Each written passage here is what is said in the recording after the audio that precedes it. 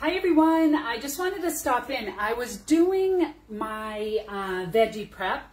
I usually do my veggie prep for the entire week all at once and I haven't gotten to it yet. But something that I use constantly is peppers and onions. I use it a lot. So I do fajitas, I do, I love to do turkey um, sausage with peppers and onions. You know, I cook them on the grill and I love them. It's one of our favorites. I do a lot of salads. So these are vegetable staples for me.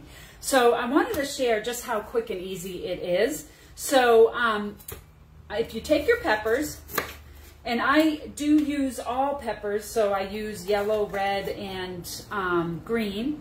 Just cut your top off. You can pull out everything, all the seeds, everything really easily. And then I'm going to use my quick slice so it has um, stainless steel uh, blades. They're super strong. And the way that this works best is a little bit of a rocking motion. So see, you have my whole pepper here, and I'm just gonna take it, put it on the top, and just do a quick rocking motion, and it goes through my entire pepper, all right? Now, this, this is like kind of big for what I like to do. So I like to go ahead and just pop it on here and just do one more time.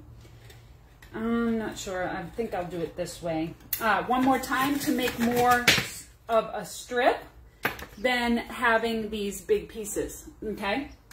And then another thing I like to do is my onions ahead of time. So some people don't know how to uh, slice onions and get the, the skin off it's it's something that some people just never learn.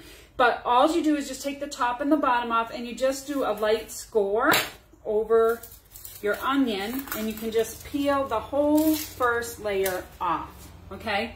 Now when I'm using my quick slice for onions, I really do like to cut them so that it's not this big, huge piece because onions tend to be a little bit hard, right? So I like to do it, say, in threes like this. And then I'm just going to put that over the top here. And I'm going to, rocking motion, super simple, right? Now, if I want to dice, I can just turn this and I can dice. I can have it for different things. Um, I like it sliced like this because I do a lot of stir fries. And this is the way that I like my onions to be cut. And then I go ahead and I put them in my sealable bags. These are, I've had these bags for two years. So all you do is you use them and then you pop them in the dishwasher, you wash them, and I, I stick mine over a cup so they dry. You know, I just take a cup and I stick it over it so it dries in the inside. And um, I use them over and over and over again. There's all different sizes, so you can use all different sizes.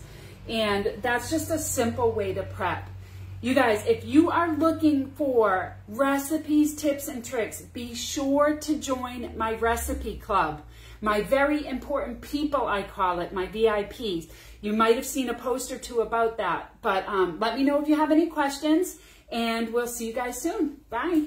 Hey, let's get cooking.